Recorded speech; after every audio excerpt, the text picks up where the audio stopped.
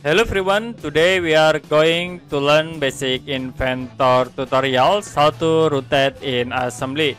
You can go to assembly and I will open for the example part. Click open and you can place into drawing area. Now if you want to rotate this part you can go to position drop down menu and then we can use this grip snap tools. You can select like I will select in this edge can choose at this option to rotate about line and set the rotation angles 90 degree press enter. After it you can right click and then choose ok.